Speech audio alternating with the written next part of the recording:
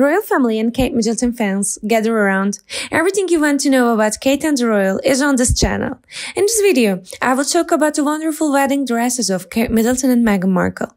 I don't know which one is your favorite, but as a lace lover, I prefer Kate. If you're ready, let's talk about it.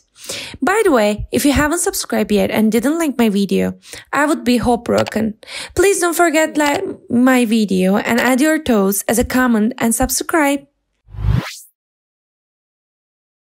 Kate Middleton married Prince William in April 2011 at Westminster Abbey.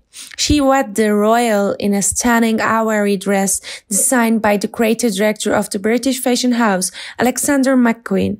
Meghan Markle, on the hand, opted for a pure white gown design by the head of the French fashion house Givenchy, Clare Waight Keller. Meghan chose the designer for her elegant aesthetic and relaxed demeanor. And a Kensington Palace announcement said the former actress and the designer worked together on the dress to create a timeless minimal elegance.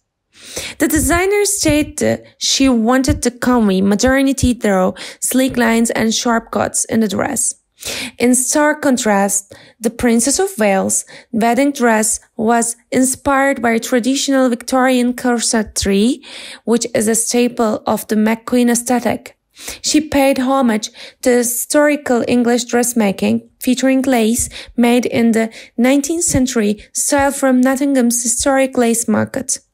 Style experts discussed both dresses. They gushed over the Princess of Wales' royal gown and said, Meghan's was safer. It was beautiful, but Kate's was royal.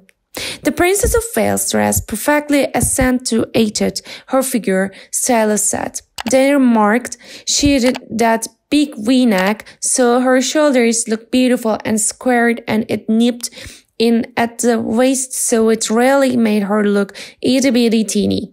Which is, but you're accentuating it. Meghan's dress, on the other hand, could have been taken in to accentuate her frame. Stylist said. The expert told, it almost does look like it should have had a quarter of an inch taken in, exactly in the same proportion, but just a little bit. The stylist did praise both dresses for her, their timelessness. They explain, we do appreciate for both from a modesty standpoint, especially for young women. You can be beautiful and sexy in your own right without baring of tone of skin. What's trending in bridal often is like a nightgown, like a little sleep, which is fine, but these are pictures you're going to look at forever. So that is where is timelessness is.